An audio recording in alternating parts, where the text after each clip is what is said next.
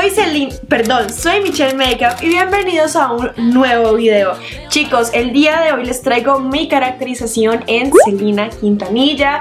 Es una de mis cantantes favoritas, mejor dicho, la admiro muchísimo y dije, este reto de Glam Swat es perfecto para volverla a traer a la vida y pues hacer este maquillaje en honor a ella. Así que si quieren ver cómo terminé luciendo casi idéntica, continúen viendo, pero antes no olviden en dejarme un like, comentar, suscribirse y activar la campanita de notificaciones. Ahora sí, comencemos con el video. Bueno chicos, ahora sí vamos a iniciar con nuestra caracterización y como primer paso vamos a marcar las cejas.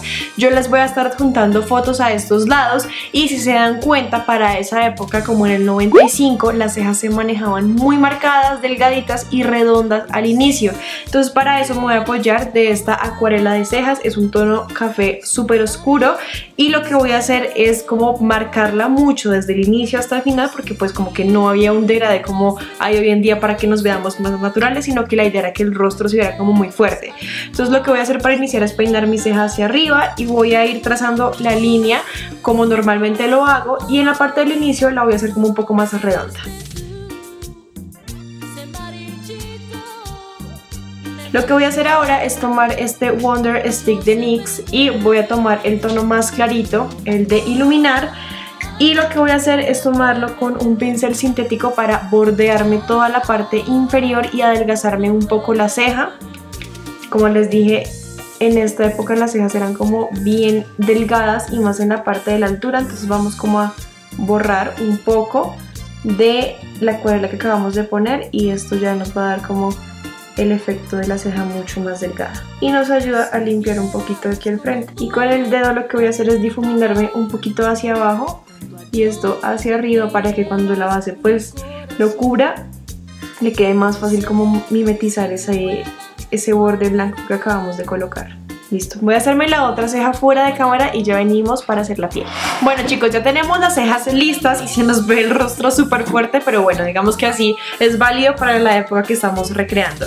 Voy a tomar ahora esta pomada blanca de mascaradas, es una base oleosa, la voy a tomar con un pomito desechable y lo que voy a hacer es aplicármela en toda la parte de los párpados para crear una base uniforme hagan de cuenta como si este fuera un primer de sombras y lo chévere de ponerla blanca es que eh, al momento de dejar la parte limpia del hueso de la ceja donde va la luz pues se nos va a ver blanquita y esto va a ser como muy típico de esa época porque se iluminaban mucho con blanco entonces va a quedar muy bonito entonces miren que la estoy poniendo con la pomada con la esponjita y me la voy a difuminar un poco con la yema de mis dedos para que no quede digamos que ninguna, ningún parche, que quede súper uniforme.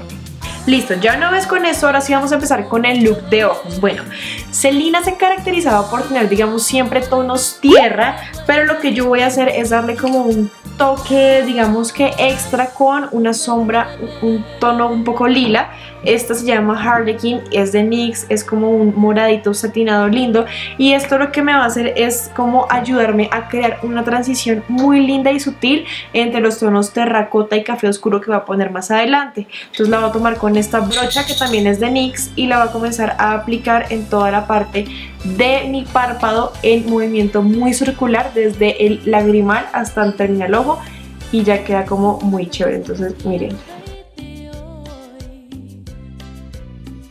Ya una vez digamos que con esta primera parte de la sombra lista lo que voy a hacer es tomar una brocha limpia como un poquito más angulada como pueden ver acá y voy a apoyarme de este tono como terracota, como un tono peach, un tono durazno para ponerlo de nuevo en toda la parte del párpado pero centrado un poco más en la cuenca. Esta aún no es la profundidad, estamos creando como una doble transición, pero esto lo que va a hacer es como ayudar a que el color se vaya como degradando y que cuando pongamos el café más oscuro no quede como tan parchoso, sino que se vea como una transición del color.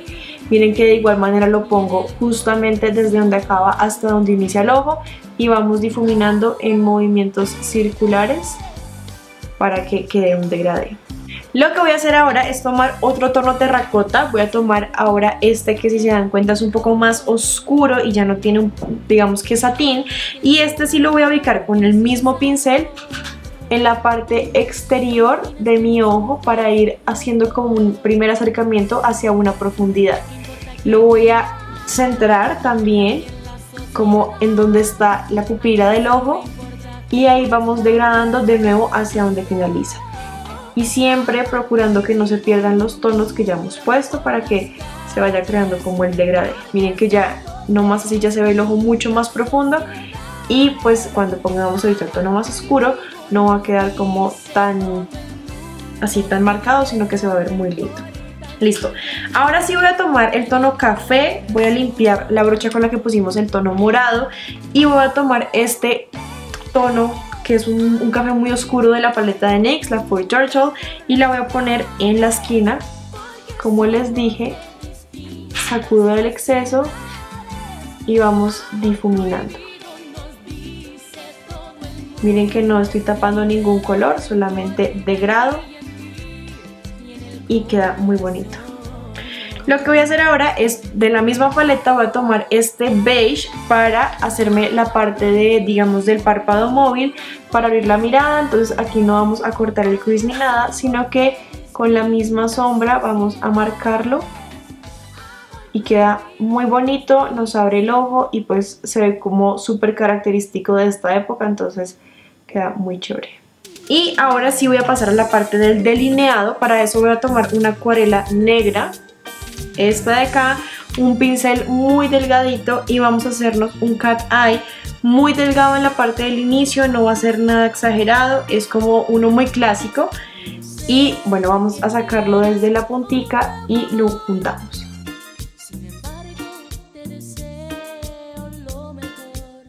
Y voy a reforzar esta este cat eye con el NYX Liquid Bean Liner que es como un poquito brillante pero es muy negro entonces nos va a dar como más fuerza en la parte de la mirada.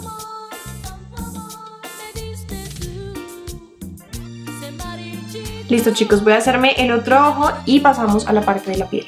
Bueno, ahora sí, listos nuestros ojos, vamos a seguir con la piel. Y para iniciar voy a cancelar las ojeras, entonces voy a aplicar este concealer de NYX que es el HD Photogenic Studio en el tono Light.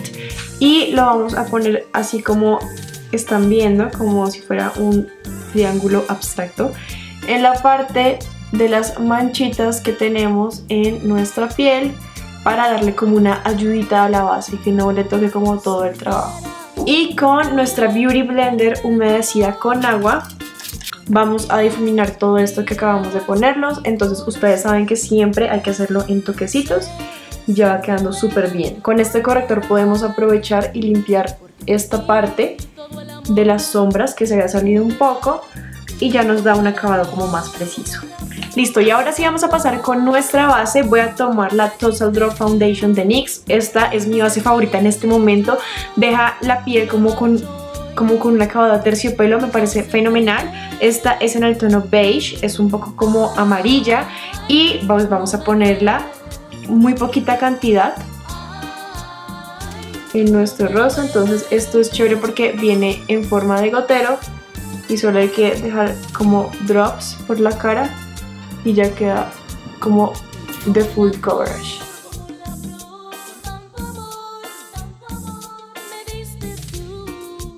Vamos a pasar a la parte del contouring y bueno, les hice como esta parte antes para que vean cómo vamos a aplicar el highlight.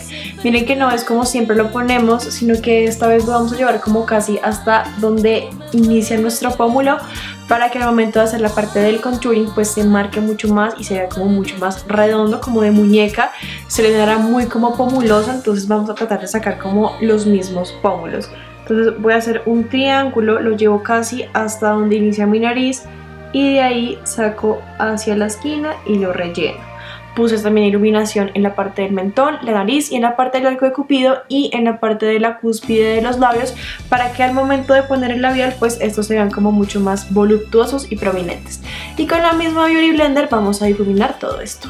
Y ya una vez con nuestra piel lista, con la iluminación, con la primera parte del contorno, vamos a proceder a sellar esto, porque ustedes saben que todo lo de crema se debe sellar. Voy a utilizar los mismos polvos compactos que utilicé como para matizar la parte de la iluminación del arco de mi ceja y los voy a tomar con una bellota y lo vamos a aplicar en todo el rostro. ¿Por qué los hago con estos y no con sueltos translúcidos que son los que siempre uso, porque para esta época, como los 90, inicio de los 2000, las pieles tendían a verse literalmente muy maquilladas, no digamos que no empasteladas, pero sí se notaba como la capa de polvo y los polvos compactos logran esto, entonces por eso voy a poner unos de color piel para que nos veamos como muy mate, muy selladas y con la piel como digamos muy como si tuviéramos Photoshop en la vida real. Y esto lo que hace es como fijar muy bien el maquillaje y miren cómo se ve. Si ven que tiene un efecto como, es como un efecto diferente, no es el que siempre hacemos con los polvos. Entonces pues es como súper bien para representar a esta época. Miren cómo queda la piel, literalmente queda como muy falsa con una capa muy gruesa pero pues está súper bien para caracterizar a esta época como les he venido diciendo voy a pasar ahora a la parte del contorno voy a tomar un bronzer un poco oscuro y lo voy a tomar con esta brocha que es la que siempre uso, que es una como un poco angulada y lo que voy a hacer es marcar pero muy exageradamente la parte de la manzana para que se note demasiado, digamos que ese contorno no va a tener como finalidad hacernos ver más delgada sino marcar mucho más este pómulo y pues hacernos ver como esta parte demasiado prominente. Listo, ya digamos que una vez con esto voy a pasar la parte del rubor, voy a tomar este que me ha encantado también de NYX, es en el tono Glow, tiene como un poquito de satín, lo voy a tomar con esta brocha y lo mismo, voy a marcar como mucho en la parte del pómulo y de ahí lo como que lo degrado hacia arriba.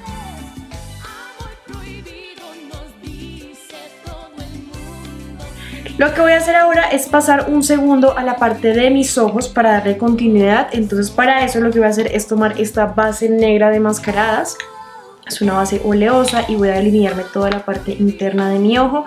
Y voy como un poquito a degradar eso que voy a hacer hacia esta parte para continuar como el delineado de la parte superior.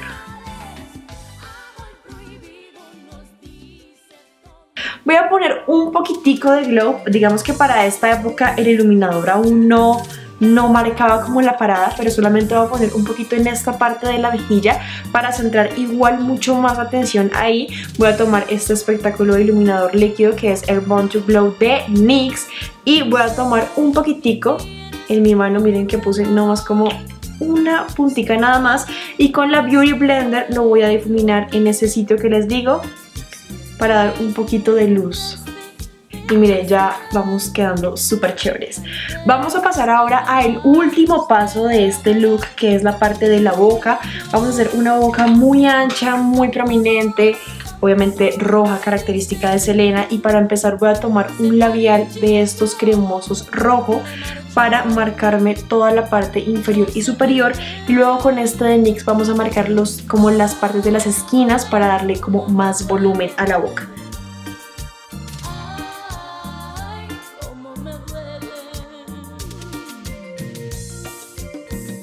Miren cómo se nos ven de grandes. Y ahora con este Liquid Suede de NYX en el tono... En el tono, en el tono Cherry Skies voy a contornearme la parte como de las esquinas de la boca y esto va a dar un look muy chévere. Miren cómo se nos ve la boca, pues se nos ve súper gigante y voluptuosa, parecemos como Kylie Jenner con labios súper grandes. Lo que voy a hacer ahora de último es encresparme las pestañas. Ustedes saben que no soy muy fan de esto, pero para este look sí necesitamos de el encrespador para hacer como la mirada un poco más expresiva. Entonces vamos a mantener ahí un poquito hasta que ya nos queden súper crespas y con nuestro rímel vamos a maquillarlas. Y bueno, miren ya cómo gana mucho más el ojo con la mirada expresiva. Así que bueno, voy a hacerme el otro ojo y ya ven, y vuelvo y ya me ven como con todo el outfit.